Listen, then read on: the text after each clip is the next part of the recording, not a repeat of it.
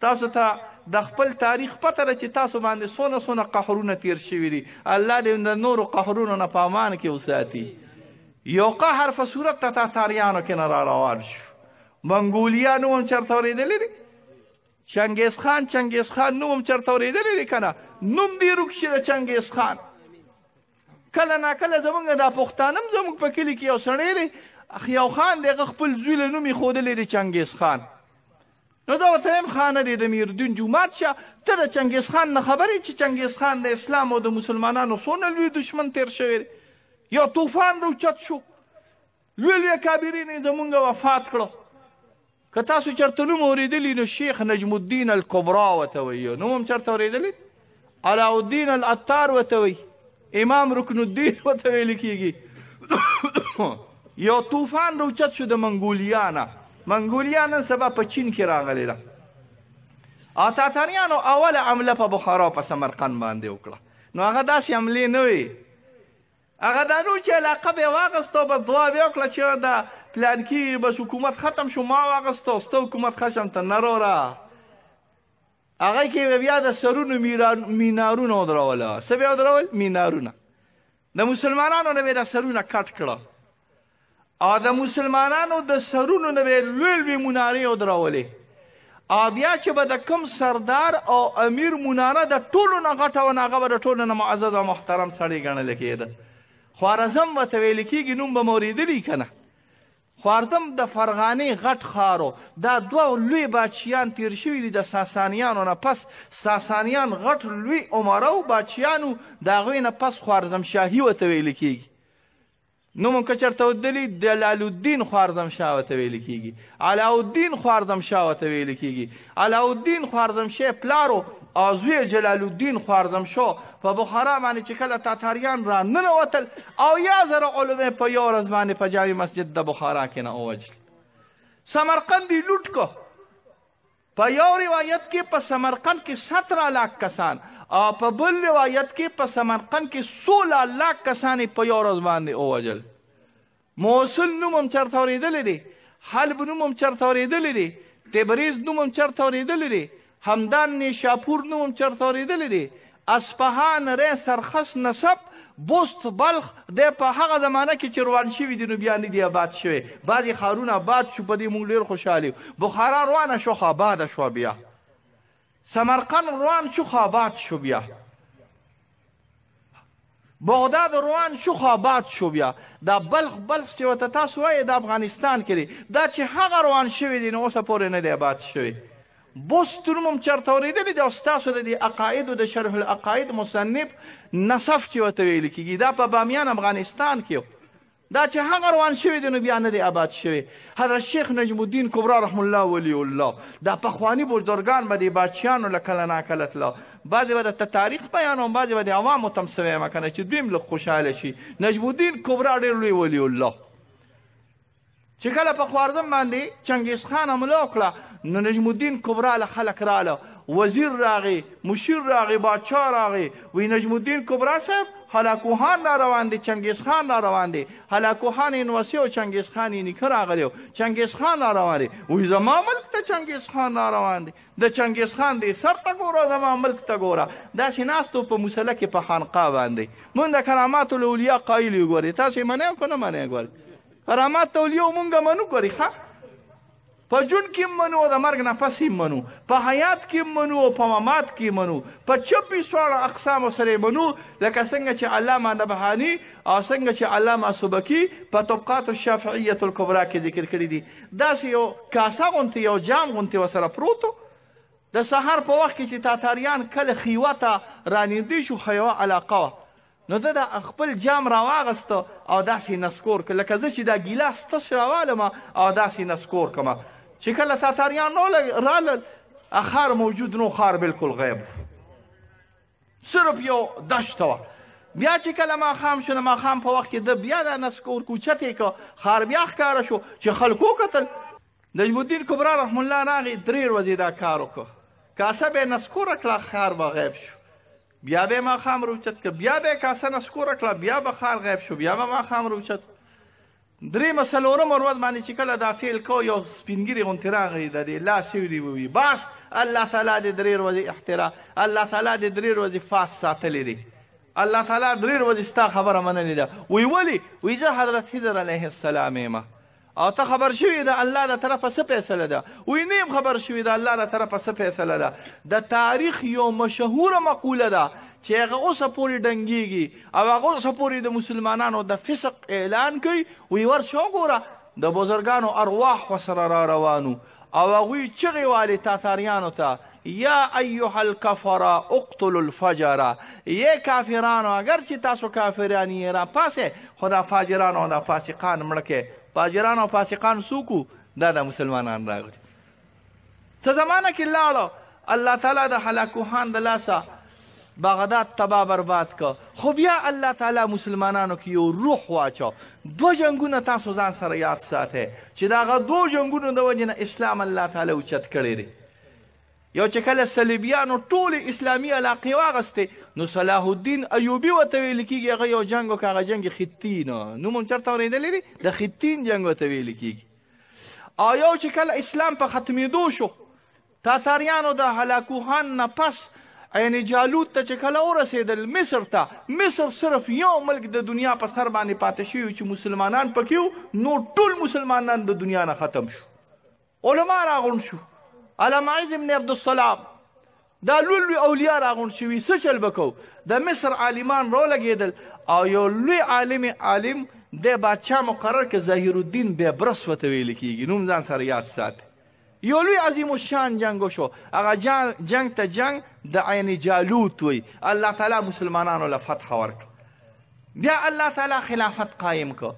د دغه خلافت نه پس بیا عثماني ترکان راو لګیدل خلافت قائم کو تاسو د عثماني ترکانو د خلافت نه خبر یې کنی تاسو غواړئ چې خلافت بس په عباسیانو باندې ختم شوی دی نه د قسطنطینیه غونتې لوی علاقې یو سلماني ترکانو واغستې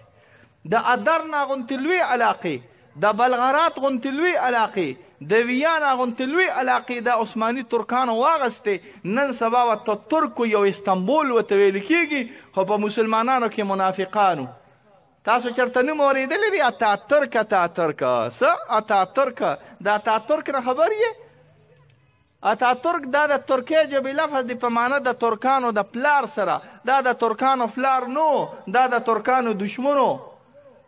په 1923 24 کې هغه خلافت چې د الله د پیغمبر صلی الله علیه وسلم د زمانې نه شروع شوی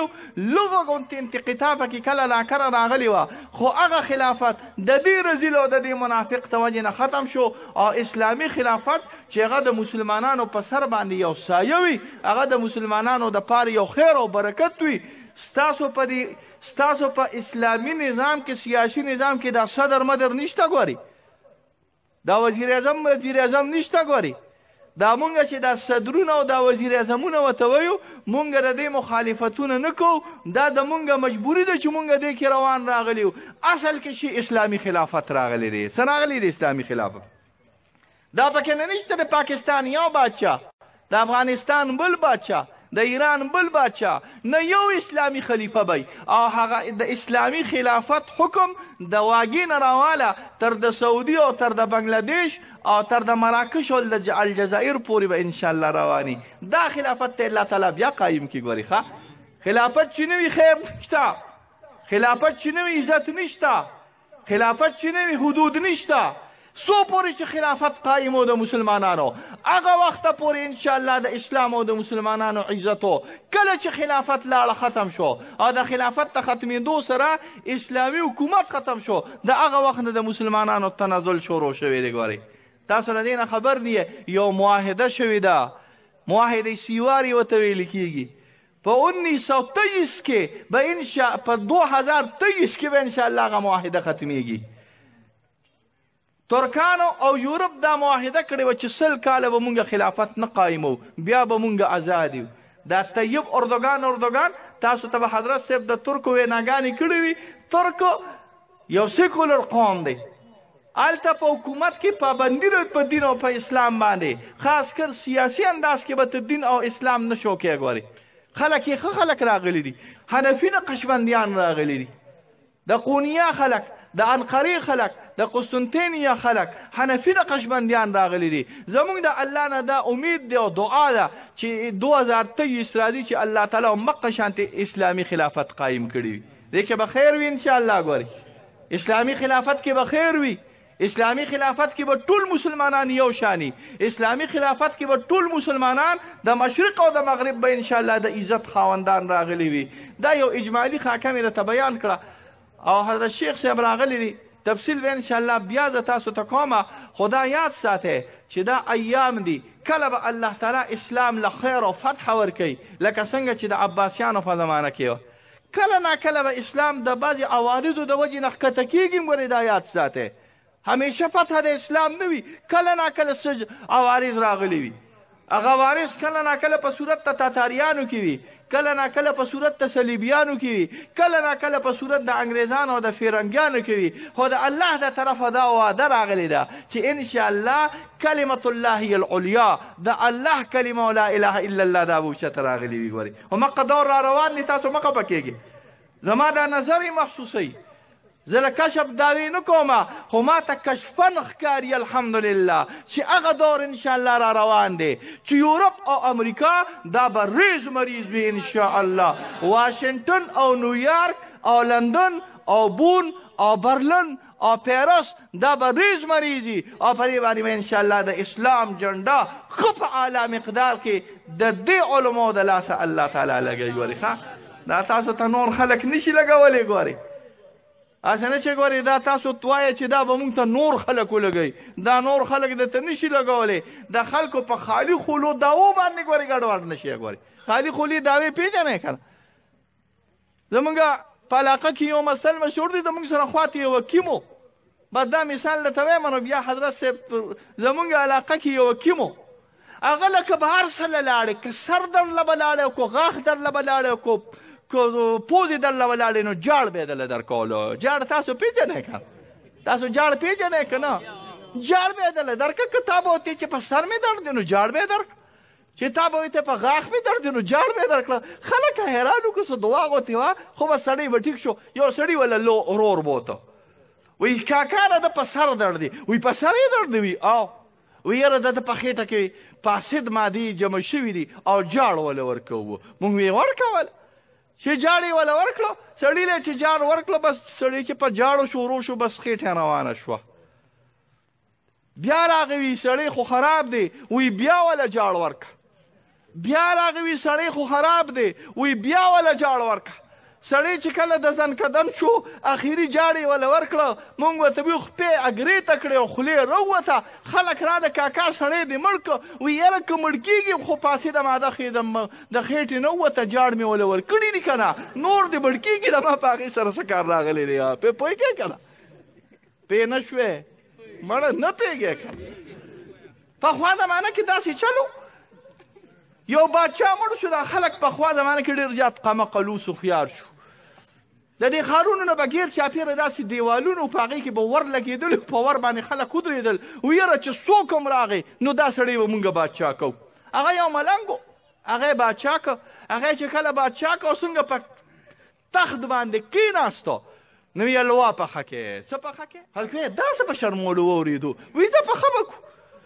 بیا چې داسې غنم ګران شو خلک وله راله وي غنم ګران شوي دي ویې لوا پخه کې ویده پخه به کو